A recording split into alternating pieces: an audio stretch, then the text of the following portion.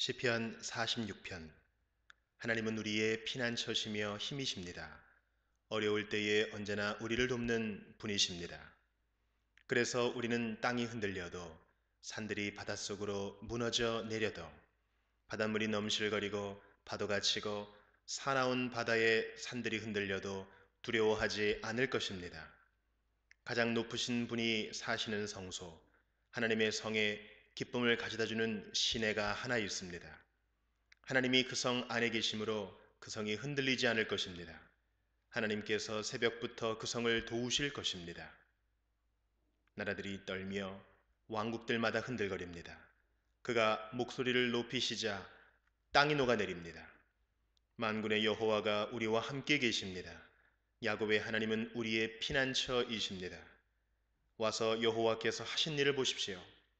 주께서 이 땅을 폐허가 되게 하셨습니다. 주는 온 땅에서 전쟁을 그치시고 활을 꺾으시고 창을 부러뜨리시며 방패를 불로 사르십니다. 조용히 하여라. 내가 하나님인 것을 알라.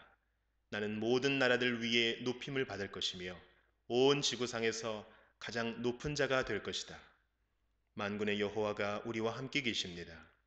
야곱의 하나님은 우리의 피난처이십니다.